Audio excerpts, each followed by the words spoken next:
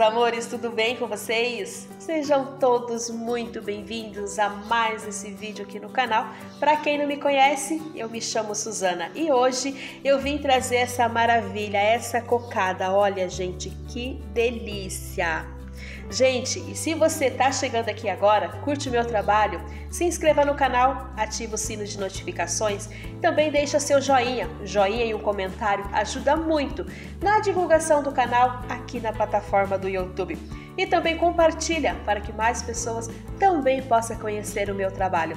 Gente, essa cocada vai apenas três ingredientes, somente isso. E ela fica macia por dentro e bem crocante por fora, sequinha por fora.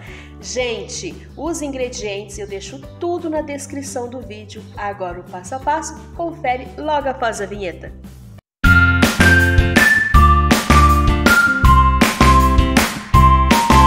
Pessoal, somente esses três ingredientes: 100 gramas de coco ralado, uma xícara de açúcar, a xícara que eu estou usando é de 220 ml, e também uma caixinha de leite condensado. Agora eu vou colocar todos esses ingredientes na panela, esses três, e a gente vai levar ao fogo.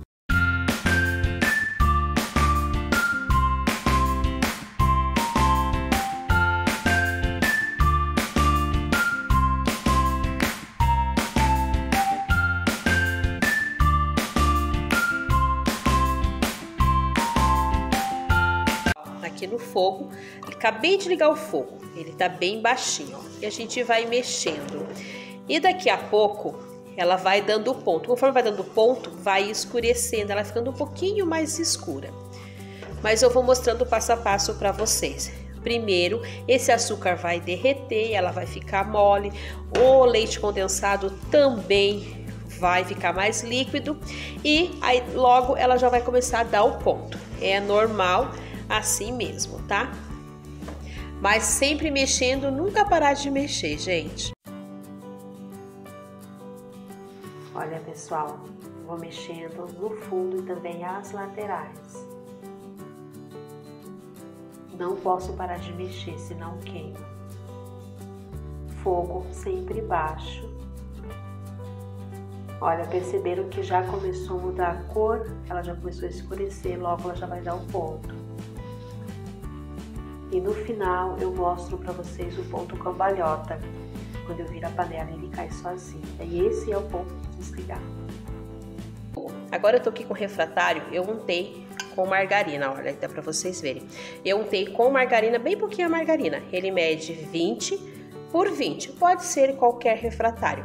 Né, eu tô passando a medida para vocês, para vocês terem mais ou menos uma noção de como vai ficar ah, o tamanho da cocada de vocês. Agora eu vou despejar aqui pegar um paninho aqui para não queimar minha mão. E a gente vai despejar a massa aqui. Gente, é logo que desliga, tá? E a gente vai acertar aqui. Eu vou raspar toda a panela e vou colocar aqui. Olha, gente, despejei toda da panela. É assim que desliga o fogo, tá, pessoal? Tem que ser quente ainda, senão você não consegue fazer isso aqui que eu estou fazendo com ela, tá? Acertar todas as bordinhas aqui. Ficou escorregando aqui no pano. Ó, feito isso, vai descansar por uns 20 minutos. Eu já volto cortando ela para vocês verem. Então, passou-se exatamente 20 minutos. Agora a gente vai cortar com a faca. Eu vou fazer aqui, cortar ao meio. Viram? Foram dois pedaços. Agora aqui eu corto ao meio novamente. Se sair torto, gente, eu sou assim mesmo. Aqui a gente tenta fazer o meio certinho, mas às vezes não dá certo. Ao meio, viro. Fizeram quatro, tipo tiras, né? Agora aqui, novamente ao meio. Acho que aqui deu meio certo. Aqui ao meio.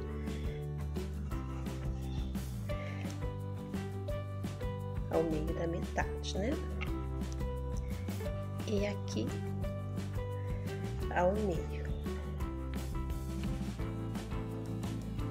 Nossa, gente do céu, como eu tô ruim de corte, né?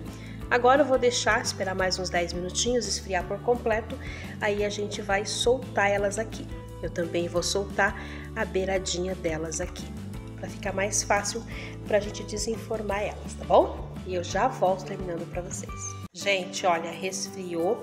Agora a gente solta as beiradinhas dela aqui, ó, que eu já soltei.